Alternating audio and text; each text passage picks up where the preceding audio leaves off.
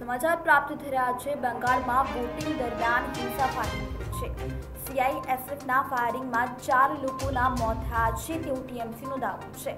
હિંસક અથડામણના સમાચાર આવી રહ્યા છે, જેમાં બંગાળમાં વોટિંગ દરમિયાન હિંસા ફાટી નીકળી છે, જ્યારે સીઆઈએસએફના ફાયરિંગમાં ચાર લોકોના મોત થયા છે. તેવું ટીએમસીનો દાવો છે. પોલીસનો દાવો, કેન્દ્રીય દળોની ફાયરિંગમાં કુચ બિહારમાં ચાર લોકોના મોત થયા છે. કેન્દ્રીય બળોએ આજે બે વાર ફાયરિંગ કર્યું છે, તેવું ટીએમસીએ જણાવ્યું છે.